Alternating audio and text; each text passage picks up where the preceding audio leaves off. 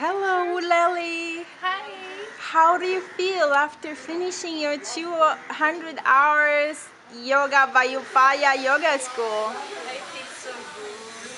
It was really a great month, um, full of very nice experience.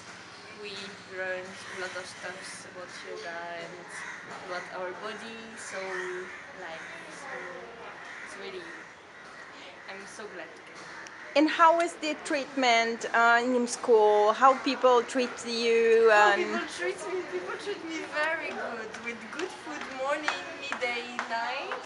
Only great people and only great stuff. and um, and the way how they teach the yoga. What can you talk about it? It was really great because we had different sort of teacher. They were all very different and teacher brought us a lot of different stuff and in this sense we had a very complete training like from all very different kind of teachings and the um, both Ashtanga and Hatha Yoga for me make the perfect balance when we practice them together so it's great. Okay, and do you feel prepared to go away today after finishing your 200 hours course and to start teaching to your students? Do you feel ready to it? Yeah!